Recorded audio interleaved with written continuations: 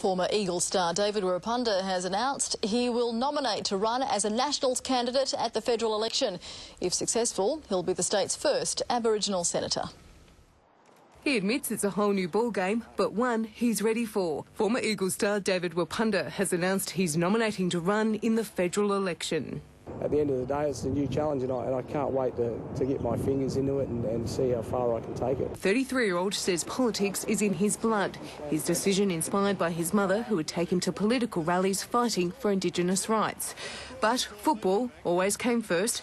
Now he's ready to give it a go. He's been in talks with the Nationals for a while. If successful, he'll become the state's first Aboriginal senator. It's always been a passion, but the, the, the, the challenge for me was how do I get there and, and what do I have to do as far as um, setting myself up personally. Be up to the voters on uh, voting day, and you never take anything for granted. But um, this is probably the, the national strongest um, attempt at the Senate spot for you know, a couple of decades. It's a step beyond his work with his foundation, tackling a range of issues impacting on Indigenous communities throughout regional Western Australia. where Wirrpanda believes if he gets the votes, he'll be able to make more of a difference. It's been a position for Aboriginal people to have, have a stronger voice in Parliament, and that's, that's the ultimate goal for me. Chiara Zaffino, 10 News.